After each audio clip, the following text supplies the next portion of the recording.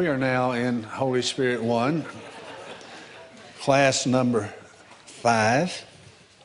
And we're going to read some scriptures here, and then we're going to talk about six qualities of the Holy Spirit.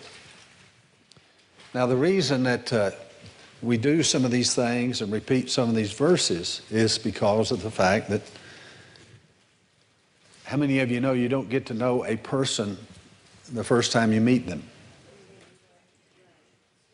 So it takes, you, you, you spend time with a person, you get to knowing them a little better and a little better and a little better. And so as we continue to look through these scriptures, we're getting better acquainted with the Holy Spirit.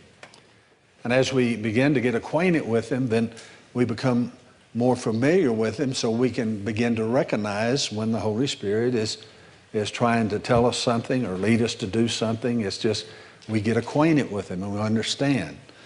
And of course, those of you that are, that are married, you know that in a marriage, a husband and wife really get to know one another better every year they're, they're together and, and they begin to know what to, you know, uh, gets one upset, so you don't want to do that. And you know what makes them happy, and you want to do that. And so it's as we get acquainted with the Holy Spirit, we begin to know when He's prompting us and speaking to us and leading us to do something. And so it, it's like say we repeat a lot of the things in this class, but it's on purpose. It's by design because we want you to get intimately acquainted with the Holy Spirit and how He ministers. And see if we understand how He does something, then when He wants to do it, we can cooperate with Him.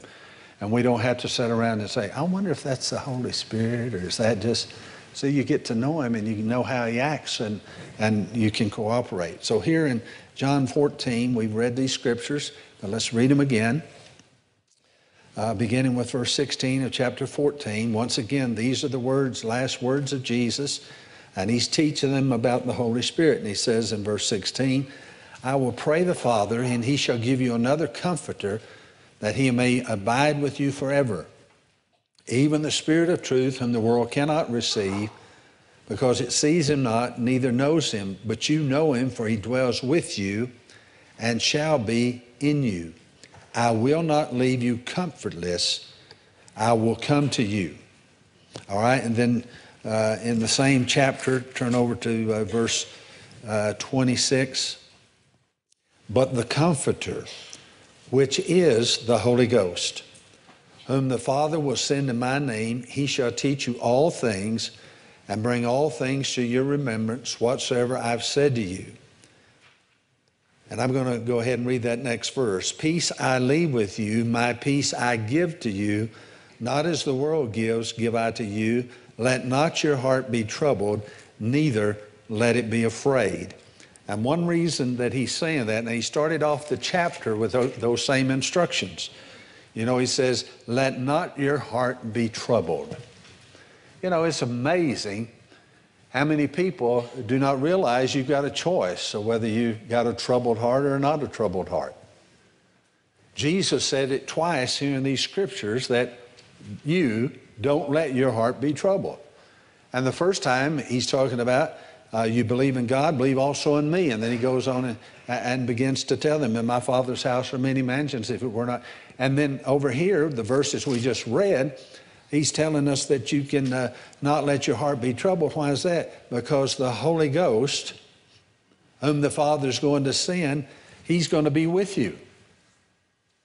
And with God with you at all times, why should your heart be troubled? And, and we need to see we can control uh, how our feelings and our emotions are because of the, of, of the way God has left us. So let's get into these uh, six qualities that Jesus enumerates here in these verses of Scripture concerning the Holy Spirit. And the first one that he gives us here in verse 16, he is the comforter. And he uses that terminology uh, many times over.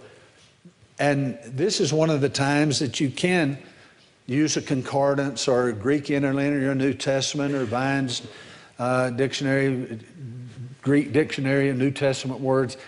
Sometimes it's good to look up these words that are English and see uh, what they were in the Greek and the, the meaning there. The reason that I don't do that very often is because you can just get off on rabbit trails and begin to make the words and the scripture say something they don't say. But here, this is a good time to kind of go back and look up that original word because it gives you a little insight. And so the word comforter in the Greek is a word that's uh, parakletos. And uh, anybody in here speak Greek? Then it's parakletos.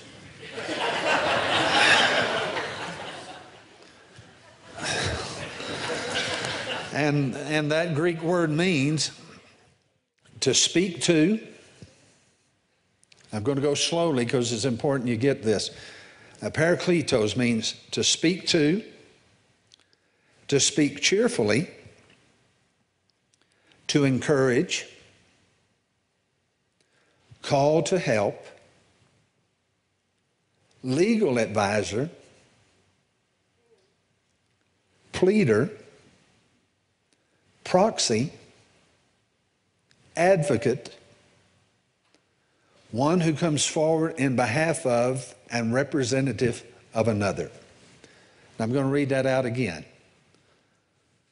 Parakletos means to speak, to speak cheerfully, to encourage, call to help, legal advisor, pleader, proxy, advocate, one who comes forward in behalf of and representative of another. So he's telling us the Holy Spirit is a comforter. He's one that is going to speak to us, that's going to speak cheerfully to us, that's going to encourage us, who's going to help us, that's going to become our legal advisor, plead our case, be our proxy, be our advocate, and he's coming forward on behalf of and representative of Jesus. So, in this, basically, uh, Jesus is saying, I'm leaving, but I'm not leaving you by yourself. I'm sending one who is coming on my behalf and representing me. And he said to these disciples here, He's been with you, but He's going to be in you. And so He says to you and I, that one, that was likened to himself is going to be in you. You know, we sometimes, and, and you know, I don't believe God makes us uh, feel guilty about it. I, I don't think it's anything that's, that's you know, going to cause us to mess up and miss heaven. But we do sometimes take Scripture so, uh, I don't want to use the word carelessly, but I don't know of a better word when, when Scripture is very distinct about something, do you realize that you and I have come to the place and we're very comfortable with, about talking about Jesus in us? You know, we even sing songs about Jesus in me loves you, and would you like to receive Jesus into your life? And y'all all heard that terminology, right? Do you know it's not in Scripture?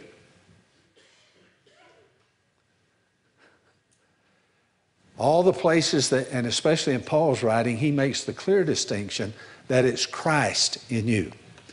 Christ being the spiritual manifestation. It's the Lord Jesus Christ. So it's position who his person is and then the spiritual side of him. So basically, it's Christ in us, which is the spiritual aspect of the Son. So basically, it's Christ in us, which is the spiritual aspect of the Son or of the Godhead. And like I say, I don't think it upsets God. I don't think we, we're going to get any condemnation or get booted out of heaven because we make the terminology Jesus in us. But Jesus is the flesh part. And we don't have the flesh part of the Savior in us, we have the spirit part, Christ. So it's Christ in us. So when we talk about Christ and we talk about the Spirit, we're talking about what Jesus is talking about here. He's saying, when I go back, I'm going to send another one like myself because I am spirit, soul, and body. And you're spirit, soul, and body. And I'm not going to come into you physically, but I'm going to come into you spiritually. And he's saying, The Spirit has been with you all this time. Well, certainly, if Jesus was with them, the Spirit was with them because the Spirit never left Jesus. So where Jesus went, the Spirit went. Now we're beginning to understand that same truth that where we go, that's where the Spirit of God goes. That's the reason we can say, and it's not being, uh, it's not bragging, it's not boastful, it's not arrogant. It's just a fact of the matter that when you show up, God shows up. And we need to begin to develop that confidence and walk in that confidence and realize that, hey, we're not just natural men and women, we're supernatural. Because this comforter, this, this person that Jesus has sent to dwell in us, that's like unto himself, representing him, he says, I'm going to give you another comforter. Now he's saying, I've been with you, I've spoken to you, I've spoken cheerfully to you, I've encouraged you, I've helped you, I've advised you, I've pleaded for you, I've put myself in your place. I am your advocate, and that's described over in, in uh, the epistles of John. And he says, You know, I'm coming forward in behalf of and representative of another and he's saying, I'm representing God. Now he's saying this one that's coming is another one that's going to do the same thing that I've been doing here in the flesh. He's just going to do it in the spirit. And once again, this is one of those mysteries that our little carnal mind will never be able to grasp, but that's the Trinity, the Father, Son, the Holy Ghost. And so where one is, the others are also. And yet we know uh, to try to teach, uh, we sometimes make the differentiation, and, and they, they do have different assignments. And so if we were to, you know, just try to understand this with our, with our mind, we'd see the Father seated on the throne, Jesus is at his right hand, but the Holy Spirit's living in us. But where the Spirit is, so is the Son. Where the Son, so is the Father. And so uh, I better get off of that real quick, or we'll all be banging our head against the wall saying, it's too much for me. so the things of God, the scripture says, have to be spiritually discerned and spiritually understood. So I just accept these truths by faith, even though there's no way I can explain it to you. But the fullness of the Godhead dwells in me bodily and in you too. And so we need to see that. So Jesus said, number one, He's the comforter. And then here's what all that word means. Then the second thing, and we've said this, and, and you think I'm, I'm riding this horse too many times, but I'm telling you, this is one of the truths that the body of Christ has not grasped, and it's simply the fact that he says he will abide with us forever. And I'm telling you, you go into some Pentecostal, full gospel, spirit filled, charismatic, word of faith churches, and I'm telling you, you'd think that the Holy Spirit was as nervous as a cat in a room full of rocking chairs. I mean, just just can't hardly settle in. I mean, he's so concerned about a baby cries, there went the anointing, you know. You kick the cat, and for sure you lost it. And they spend, we've already been through that, but they spend all sorts of time begging God to come, singing the songs, Holy Spirit, fall on me. I have a vivid imagination when I hear them singing that, and I thought, if I was the Holy Ghost, I would. I'd just flatten them out.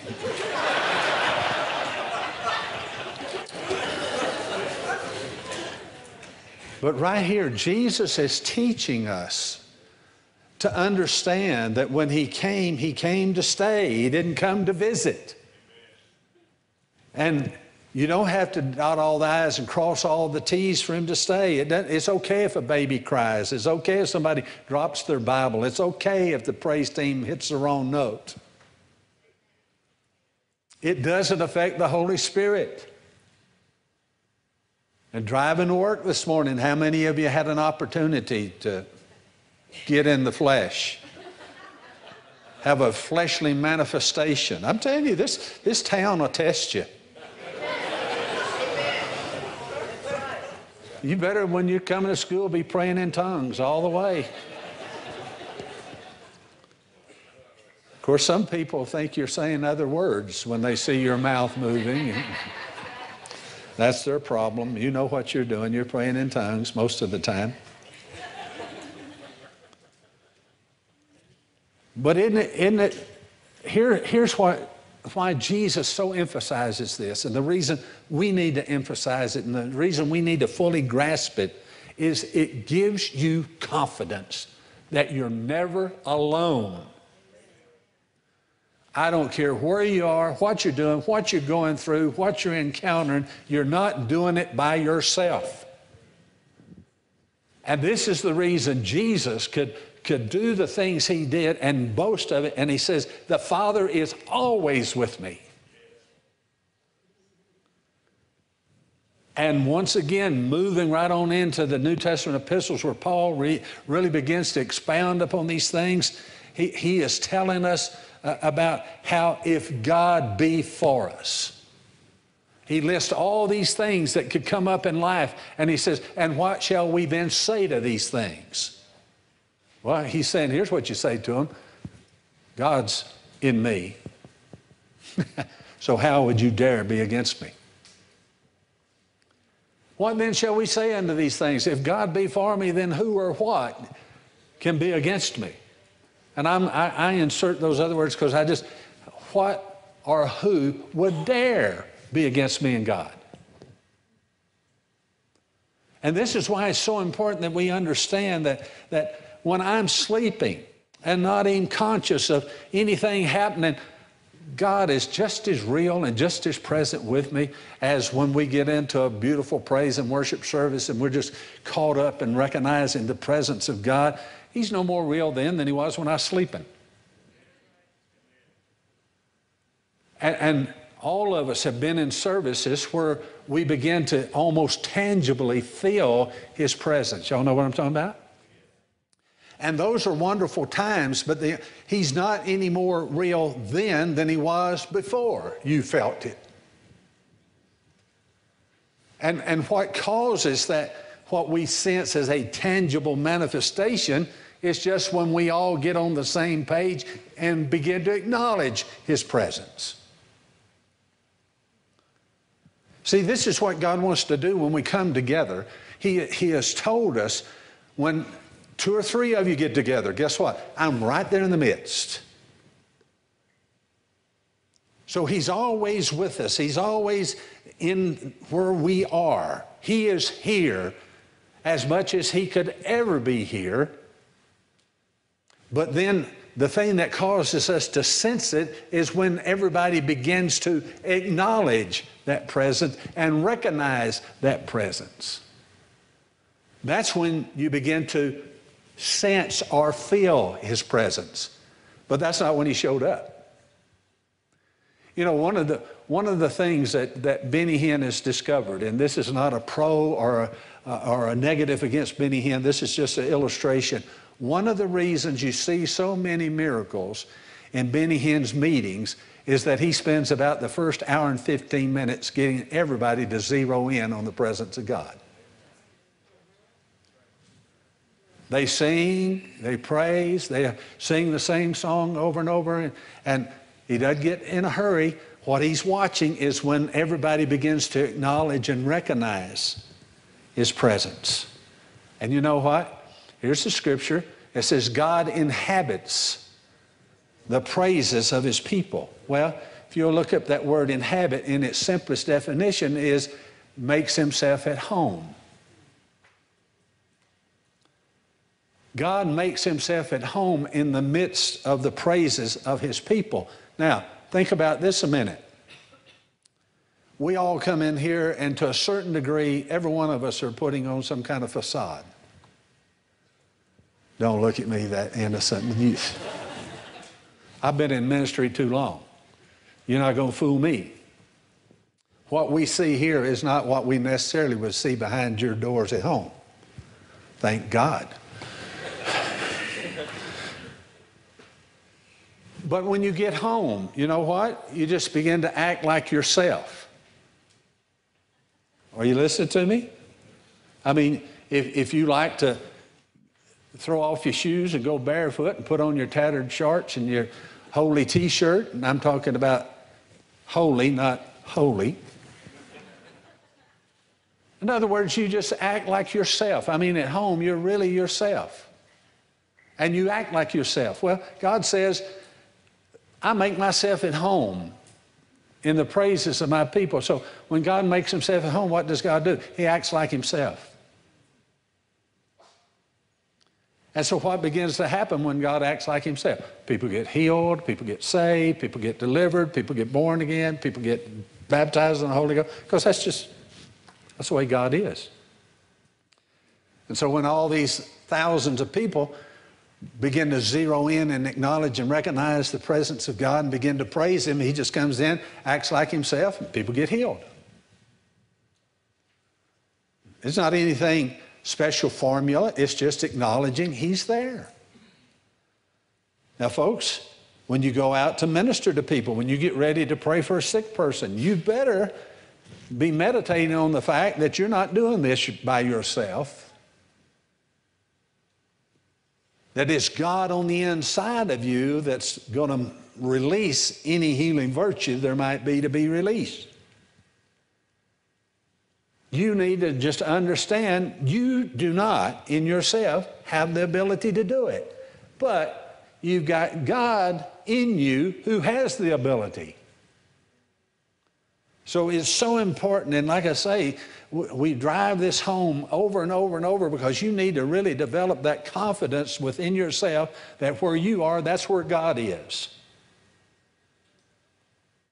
And God is always on. He doesn't have off days. And let me tell you, over the years that I ministered, the times that I felt the least qualified to minister is when the greatest things happen. And, and this is, you know, just backs up scripture. When you're weak, then he's strong. And then when you realize who he's called,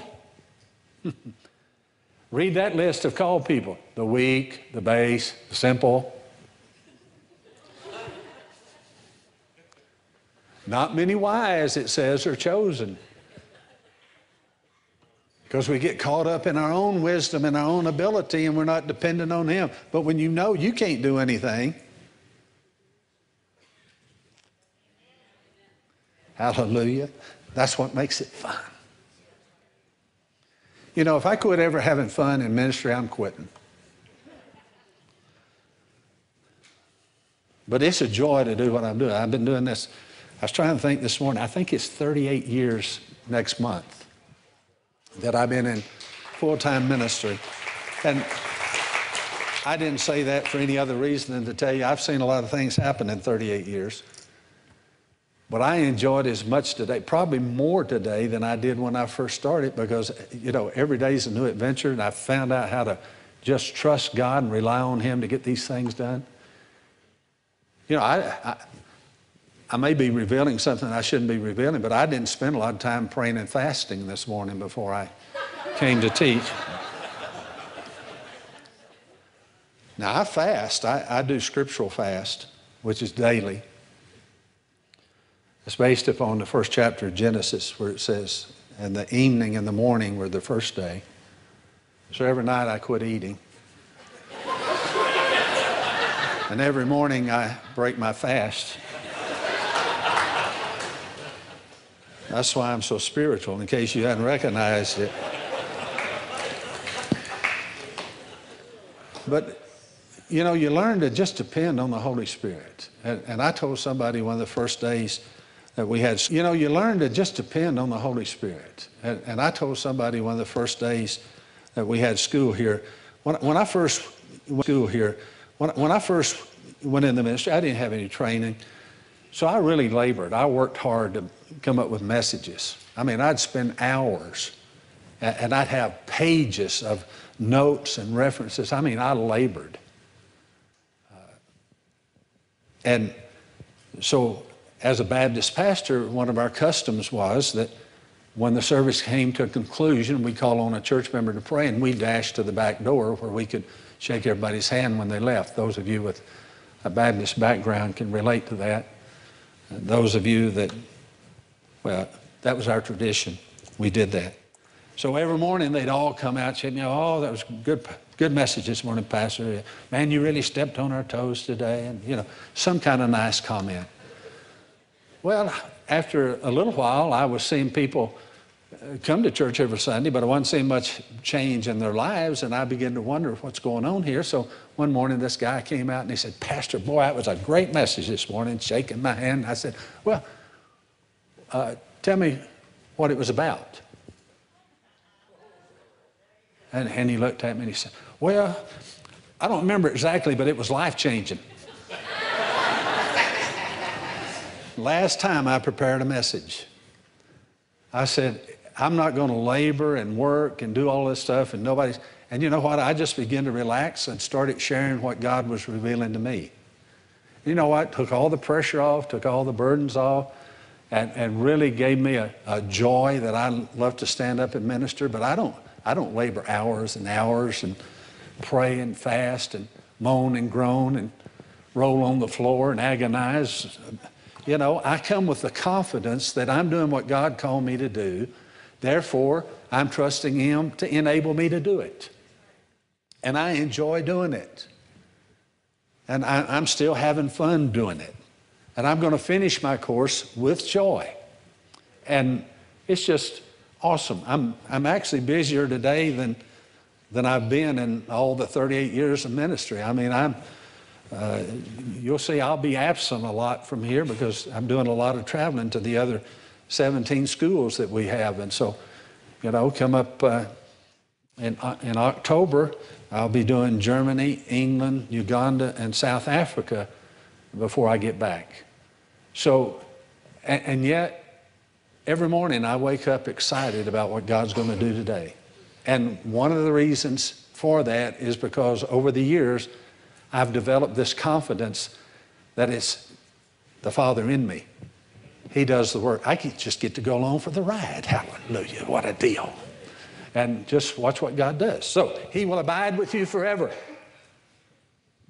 Don't ever forget it. He's with you all the time. Jesus said, I'll never leave you, or forsake you. What more does he have to say to assure us that he's always with us? He's always with us, and the Holy Spirit's here to abide forever. Uh, then, uh, you know, it's just amazing to me why some, some people are afraid to teach that security. It's almost like, well, if, if I tell people that, they'll just go out and live like the devil. Not if they're really born again children of God, they won't. Come on. All right, then the third thing he says here is that the Holy Spirit is the Spirit of truth. Once again, all we have to do is examine ourselves and see what's coming out of our mouth. And you'll know whether it's the Spirit of God or not. Because if it's the Spirit of God, it's going to be truth. You know, that's one reason it's so important that every single one of us spend quality time in the Word of God, the written Word of God, and become acquainted with it so that when we can recognize it when the Holy Spirit quickens it. Because all He is going to speak is truth. Everything the Holy Spirit is going to say to you, speak to you, is going to be lined up with the written Word.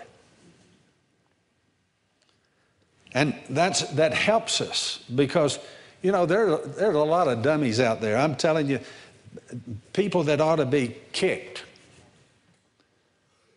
drop kicked off the planet,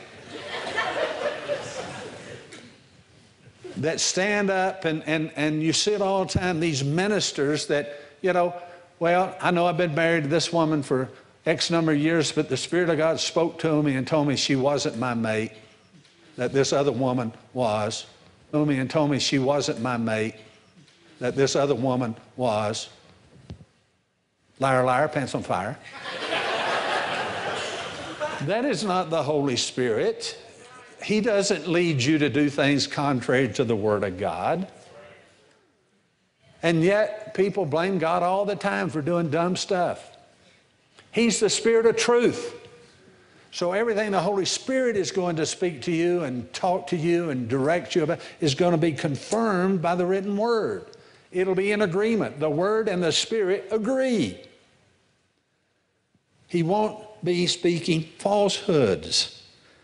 I tell you, the Holy Spirit will never leave you to be dishonest, deceitful, backbiting, tale bearing, bearing false witness, or lying. He's the Spirit of truth. Number four, the world cannot receive the Holy Spirit. Now, that should be obvious. We'll see more about that later, but the Holy Spirit is given to believers. We're talking about when He comes in His full manifestation. Number five, verse 26 He'll teach you all things. He'll teach you all things. Now, people have got flaky and weird on this one too. And they'll say, Well, I don't need anybody to teach me because I've got a scripture that says the Holy Ghost will teach me all things. And He will. But that doesn't do away with godly teachers that God has set in the body. Ephesians 4:11, and God hath set in the body apostles, prophets, pastors, teachers, evangelists for the perfecting of the saints, for the equipping of the saints for the work of the ministry. So this scripture does not discount human teachers. But here's, here's what we need to make clear I can only present to you with facts and knowledge that I have received, but only the Holy Spirit can make those things that are of God real to you. He uses human teachers to call attention to certain truths and revelations but until the Holy Spirit quickens it to you, you haven't been taught. I sometimes illustrate it this way. You know, I could, uh, I could, I, I'm capable and I'm able and I'm willing to one day sit down in front of you and put a table out here and give me about an inch and a half prime rib, cooked medium, some horseradish and au juice, and a loaded baked potato with butter and sour cream and chives and bacon bits and cheese. Start off with a nice hot bowl of French onion soup with the cheese dribbling off the side. And you know, there's a proper way to eat that. You eat the cheese on the outside first, you know. Don't leave that on your bowl. That's disgraceful to leave that cheese on the bowl. then a nice green salad with crumbly blue cheese dressing. And I could sit up here and I could really eat that, and I could tell you how good it was. I mean, bite by bite, I could demonstrate. and I could finish that meal off. I could either, I, I, wouldn't be upset if it was key lime pie, a nice thick slice, or, or a big bowl of, of good bread pudding with a nice sauce on. And, and I could do that, and I could lean back and say, that was good.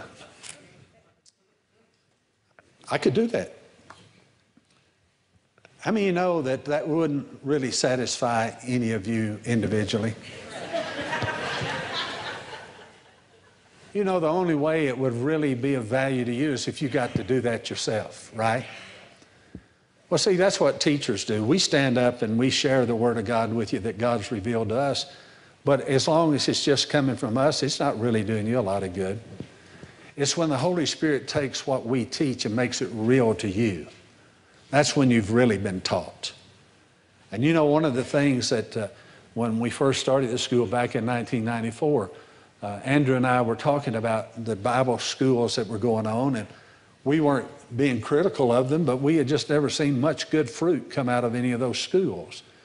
You saw a lot of cookie cutter Christians come out of those schools, and they were all trying to imitate the, the, the, teacher of the school, even talk like him, act like him, dress like him, and all that kind of stuff. And, and we just thought this is not what God has asked us to do. And, and of course, you know the scripture from Timothy that God quickened Andrew was take the truths that I've revealed to you and present them to other faithful men and women in a fashion that they can become their own truths and they go out and share it with others. And that's, that's how our school works. We don't want anybody leaving here after spending your time in school and go out and when you're ministering to someone say, well, you know, Andrew says, or Wendell says, or any of the other instructors. We want you to go out and be able to minister to people and say, now, you know, God says. We want you to know what God says, and that's what He'll make real to you, and don't go out quoting us. You need to let the Holy Spirit teach you so that you can say, This is what God says. And you can't do that by just watching someone else do it. You've got to get involved with the Word of God and with the Holy Spirit and let Him make these words on this written page become the living words in your heart. Far too many people nowadays are, are doing just what the Pharisees did, and Paul the Apostle says the letter kills. It's the Spirit that gives life. And all of these truths had to be quickened by the Holy Spirit in you for them to be of any, uh, give any results. And all of us have, have watched it over the years that we see so many people that are just parroting what other ministers have said, and you don't see the results because you're just saying the words, but you haven't got the revelation in your spirit. Here's another quick little illustration on that. I mean, you've ever heard the term milk of the word and meat of the word? Anybody ever encountered those? and there's all these so-called preachers out there telling you, well, you know, the meat of the word, that's what I, I get into the deep things of God.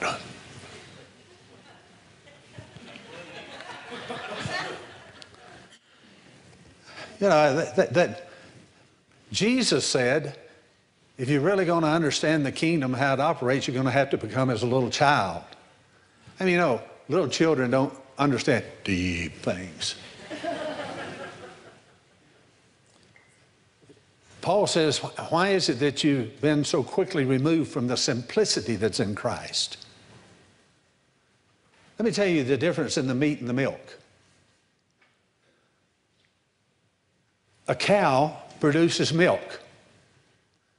But the process, without going into a lot of detail, cows have four stomachs. And when they begin to eat food, it begins to be processed through those four stomachs, and the end product is they produce milk.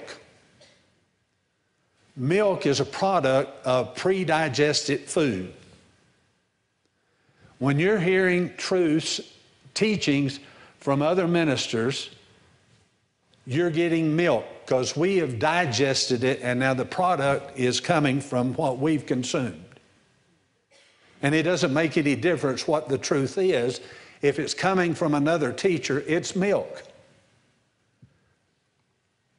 But meat is when you take your knife and go out and slice a steak off the rear end of that cow and you cook it and eat it yourself.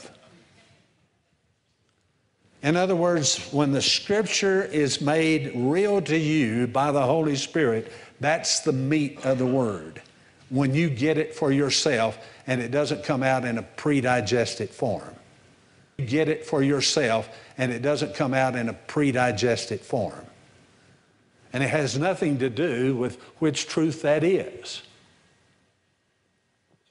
All the years you heard messages on being born again, when you were just hearing them, that was milk.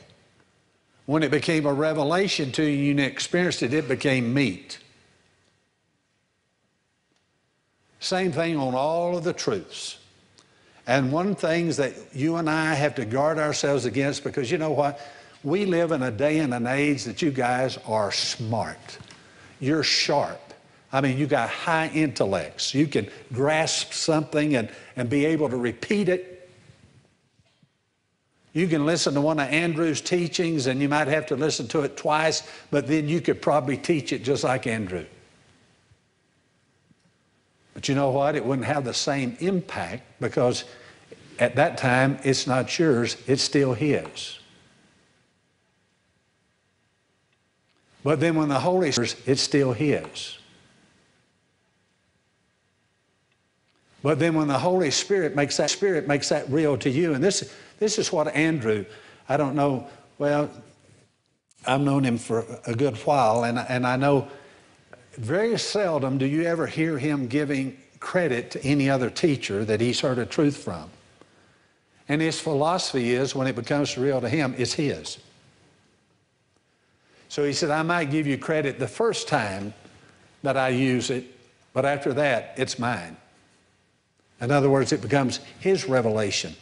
And he doesn't have to say, Brother so and so said, or somebody else said this. This is what God has said.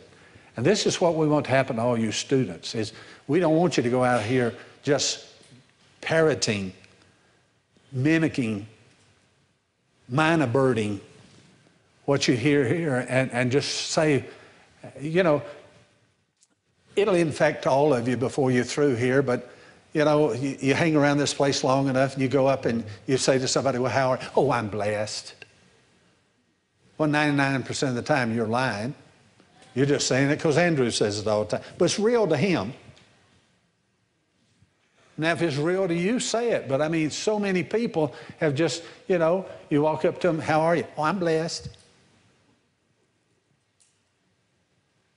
We had a class years ago and uh, in the beginning of the school, and, and it was really notable because every, every time you say something, how are you, Andrew? Oh, I'm blessed. Well, how are you really? I'm really blessed. You know, it's always the same. I'm blessed he, because he believes it. It's real to him. And I told that class, I said, you know what? One of these days I'm going to invent a doll, a talking doll. You can throw it on the floor, you can stomp on it, you stick it with pins, you can hit it with a hammer, and it's going to say, I'm blessed. I'm blessed. I'm blessed. Believe it or not, that class, as a class gift, then came up with one. I think Andrew threw it away because he didn't think the image quite looked like him. I thought it was a pretty good image, but. But, folks, what I'm saying, see, that's real to him, but it's easy when you're around someone to begin to say the same thing. And you don't mean it, it's just coming off, the, off out of your intellect. And it's not the intellect that's going to change lives, it's by the Spirit of God. So let it become real to you by the Holy Spirit. Ask God, say, make these truths real to me. Make them come alive in me. I don't want to know them just because Andrew said them or Wendell said them or any other teacher said. Now, real quickly, number six, he'll bring all things to your remembrance. Now, not only scriptures, now he will, but He'll bring to your remembrance the things that He's spoken to you about dreams and visions and, and plans and things that He's put in your heart. He'll bring them to your remembrance, and that's what keeps you going. You know, when, when the Lord spoke to me back in 1976 to move to another town and to, to plant a church, to start a church based upon New Testament patterns and principles, and, and announce to all that would hear that Jesus Christ was the same yesterday, today, and forever, and proclaim the full counsel of the Word of God with balance. You know, that was, that was written on my heart. Well, I, if you've never pastored, you don't always realize the challenges that come on. But every time I'd get a little discouraged in that, though he'd bring to my remembrance that commission. He'll bring to your remembrance the things that he's spoken to you. And I remember in the 80s, and I'll probably tell you more about this later, whether you want to hear it or not, it's my class. Uh, but how God began to deal with us back in the 80s, that he was sending us to the nations. And you know what? I'm living that now. And, and all the times that it wasn't happening, he'd bring it back to my remembrance. So not only scripture, but whatever he's spoken to you, he'll continue to remind you to keep you on track.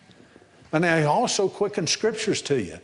We were in, uh, in Scotland years ago, Glasgow, Scotland, and, and uh, Andrew was doing a, a, a meeting, and at the end of the meeting, much as he does today, he called the team forward to, to minister to people. And so he got through teaching, and and uh, gave a, an altar call. And my wife and I were up front ministering to people. And this lady came in front of us, and her face was just twisted.